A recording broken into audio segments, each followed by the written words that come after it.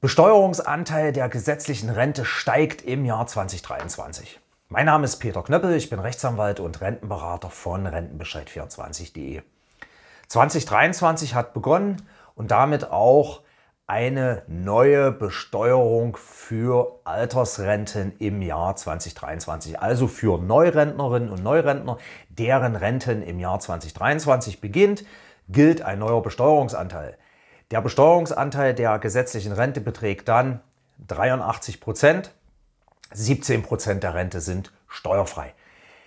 Das ist im Grunde genommen nichts Neues, aber möglicherweise kann der Besteuerungsanteil von 83 Prozent noch im Jahr 2023 geändert werden.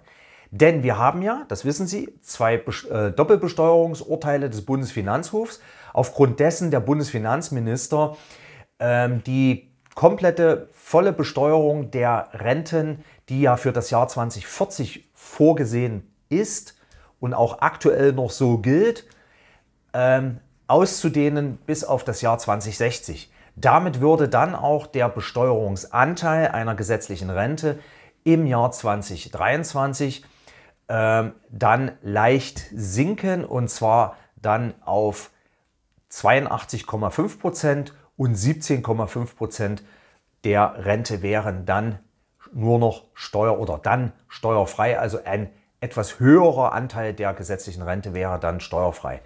Aber ob es tatsächlich dann im Jahr 2023 zu dieser gesetzlichen Änderung kommt, steht noch in den Sternen. Wir warten alle auf die Informationen aus dem Bundesfinanzministerium. Also nochmal, ab 2023 für Neurentner gilt Besteuerungsanteil der gesetzlichen Rente 83 Prozent.